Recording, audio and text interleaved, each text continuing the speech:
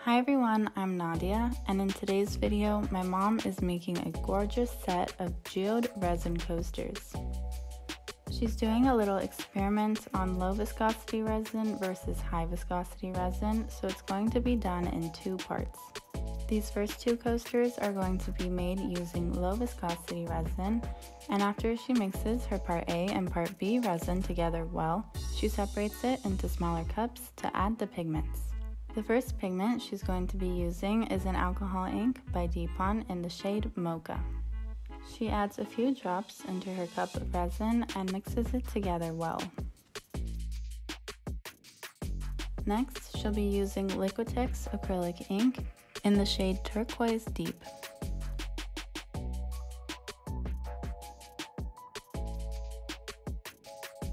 And the last pigment she'll be using is Just Resin's pigment paste in the shade Titanium White.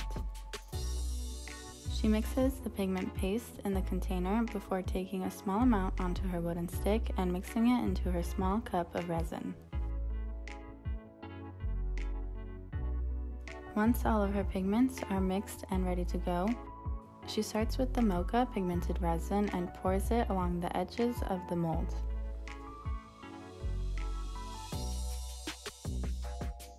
Then she grabs the turquoise deep pigmented resin and pours it right alongside where she poured the mocha.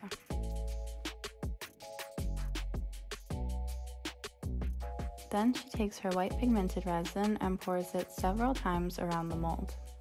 Now she takes her cup filled with clear resin and she pours it directly into the center of her mold. She uses a torch gun to pop any air bubbles and when using a torch gun, make sure that you move it in a very quick motion so that you don't burn your silicone molds or your resin.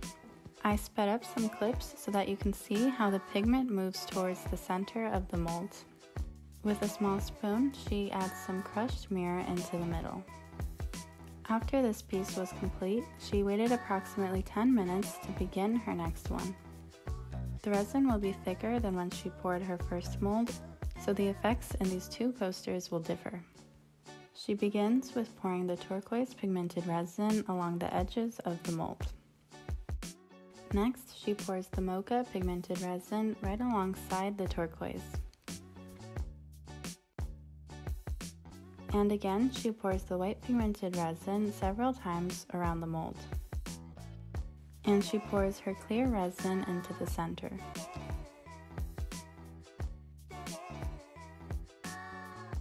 And adds her crushed mirror in the center as well.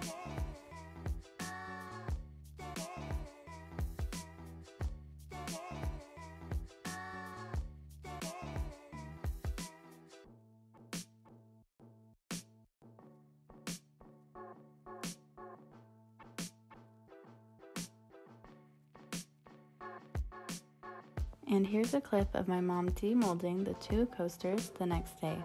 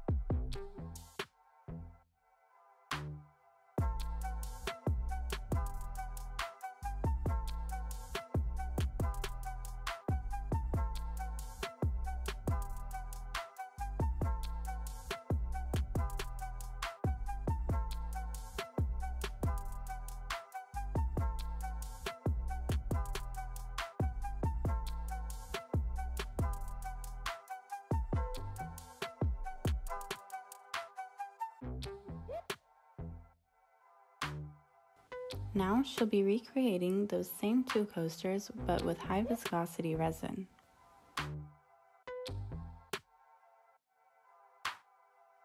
After she mixes her resin together, she separates it into smaller cups and adds all of the same pigments that she mixed in previously.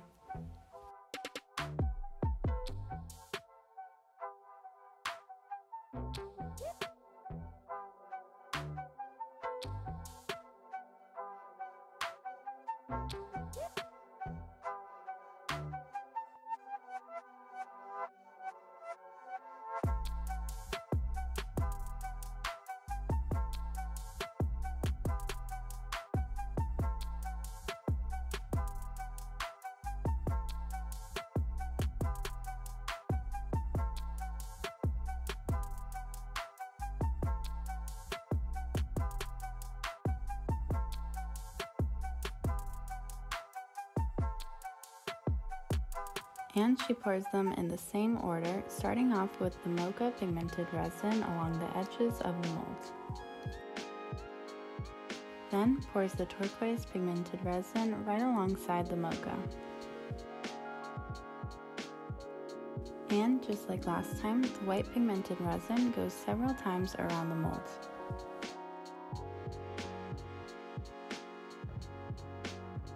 And she pours her clear resin right in the center.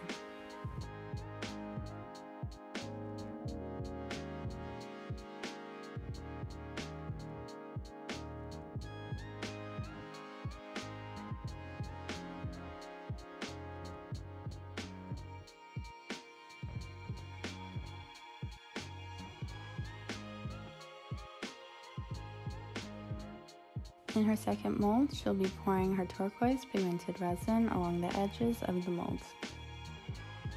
Before she began pouring in her second mold, again, she waited approximately 10 minutes.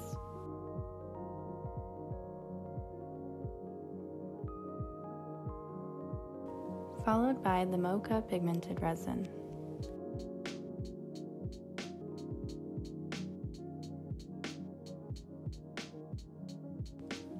And lastly, she pours her white pigmented resin and right after pours her clear resin into the center.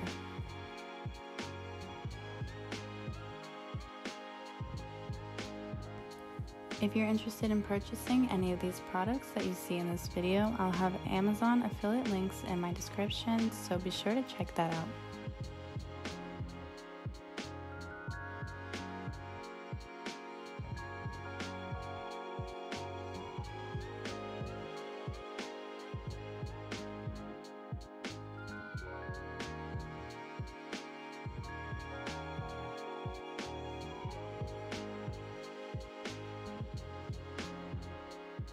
And here's a clip of my mom demolding these two coasters with the same technique but with high viscosity resin the next day.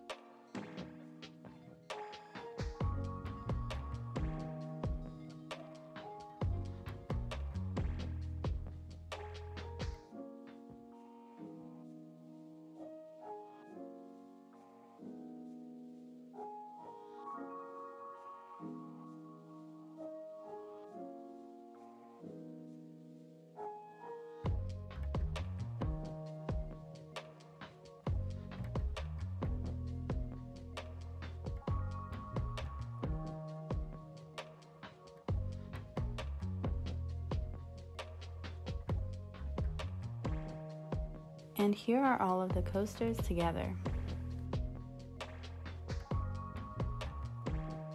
The ones made with high viscosity resin are the two on the very top, whereas the coasters with low viscosity resin are on the bottom.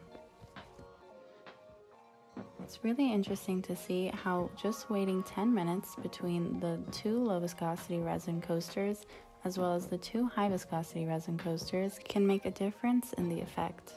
And especially interesting to see how using high viscosity resin versus low viscosity resin also makes for a huge difference in what your coasters end up looking like. Because of this, each coaster has a different effect, which is really cool to see. After she added a top coat, here's the final product.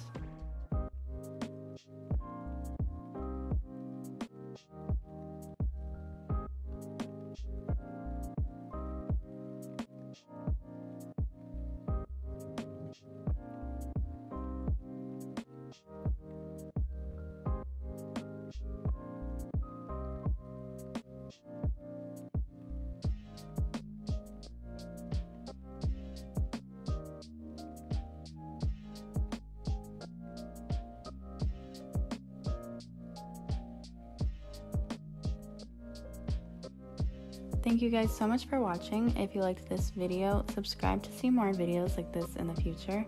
Follow me on my Instagram, Summer Girl Designs, and my mom's Instagram, Wild Heart Resin Art.